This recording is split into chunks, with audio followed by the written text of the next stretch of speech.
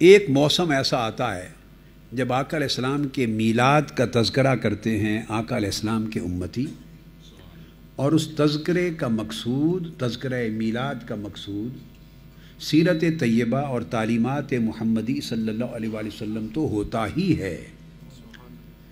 مگر اختصاصاً اور ارتکازاً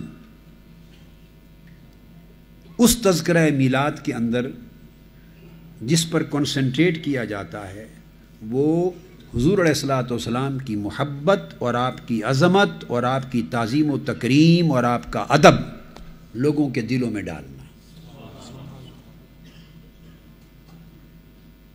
یہ تذکرہ بطور خاص حضور علیہ السلام کی ذات کے لیے ہوتا ہے۔